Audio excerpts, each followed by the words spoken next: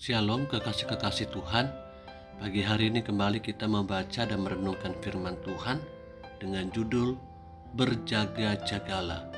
Kamis edisi Injil Markus bersama dengan saya Fani Paendok. Markus pasal 13 ayat 24 sampai dengan 37 Tetapi pada masa itu Sesudah siksaan itu Matahari akan menjadi gelap dan bulan tidak bercahaya, dan bintang-bintang akan berjatuhan dari langit, dan kuasa-kuasa langit akan goncang. Pada waktu itu, orang akan melihat Anak Manusia datang dalam awan-awan dengan segala kekuasaan dan kemuliaannya. Dan pada waktu itu pun ia akan menyuruh keluar malaikat-malaikatnya dan akan mengumpulkan orang-orang pilihannya dari keempat penjuru bumi, dari ujung bumi sampai ke ujung langit. Tariklah pelajaran dari perumpamaan tentang pohon ara. Apabila ranting-rantingnya melembut dan mulai bertunas, kamu tahu bahwa musim panas sudah dekat. Demikian juga, jika kamu lihat hal-hal itu terjadi, ketahuilah bahwa waktunya sudah dekat, sudah di ambang pintu. Aku berkata kepadamu, sesungguhnya angkatan ini tidak akan berlalu sebelum semuanya itu terjadi. Langit dan bumi akan berlalu, tetapi perkataanku tidak akan berlalu. Tetapi tentang hari atau saat itu tidak seorang pun yang tahu. Sekali lagi, katakan di sini, tetapi tentang hari atau saat itu tidak seorang pun yang tahu. Malaikat-malaikat di sorga tidak, dan anak pun tidak. Hanya Bapa saja. Hati-hatilah dan berjaga-jagalah. Sebab kamu tidak tahu bila manakah waktunya tiba. Dan halnya sama seperti seorang yang bepergian yang meninggalkan rumahnya dan menyerahkan tanggung jawab kepada hamba-hambanya, masing-masing dengan tugasnya, dan memerintahkan penunggu pintu supaya berjaga-jaga.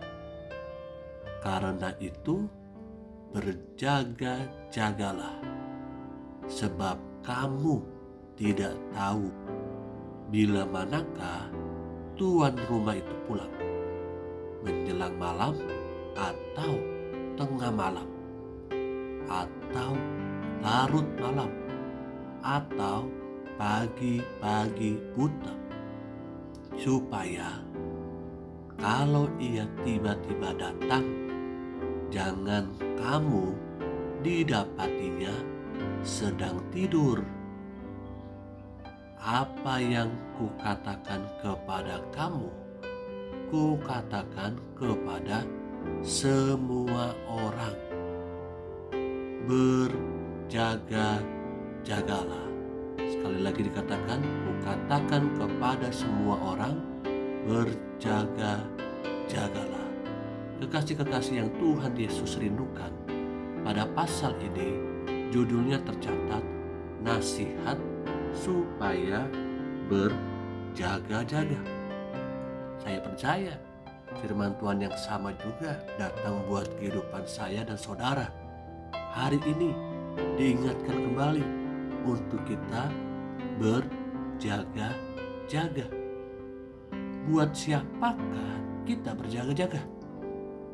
Dan apakah tujuan kita berjaga-jaga? Dapatkah saudara dan saya menjawab kedua pertanyaan ini? Buat siapa kita berjaga-jaga? Dan apakah tujuan kita berjaga-jaga? Tentunya kita berjaga-jaga untuk kedatangan Tuhan. Dan tujuannya jelas untuk kita siap menantikan kedatangan dia. Kita tidak tahu kapan majikan itu akan datang dan bertemu dengan hamba-hambanya meminta pertanggungjawaban apa yang telah dititipkannya untuk dijaga dan dikerjakan oleh hamba-hambanya. Demikian juga dengan hidup kita saat ini. Saat ini kita sedang menantikan kedatangannya. Karena itu, saya dan saudara harus berjaga-jaga. Kita harus terus berjaga-jaga kapan dan di mana pun kita itu berada. Tiap-tiap orang harus bertanggung jawab dengan segala hal di dalam dunia ini sambil berjaga-jaga pelita kita harus tetap menyala dan milikilah minyak cadangan untuk kita terus berjaga-jaga. Jadilah gadis-gadis bijaksana yang tetap berjaga-jaga dengan memiliki cadangan minyak. Jangan sampai kita beralih dengan yang lainnya. Jangan biarkan kesibukan, bahkan masalah menghambat kesungguhan hati kita untuk tetap terjaga. Dunia mencoba mengalihkan perhatian kita supaya kita lengah, supaya kita lalai, sehingga kita lupa untuk tetap berjaga-jaga, untuk kita tetap melayani, tetap memberi, tetap mengasihi, tetap bertekun di dalam pengajaran rasul-rasul, tetap mengerjakan keselamatan, tetap percaya kepada Dia, dan masih banyak lagi yang dapat saya dan saudara lakukan sambil menantikan kedatangan Tuhan di dalam koridor, di dalam jalan kebenaran-kebenaran firman Tuhan.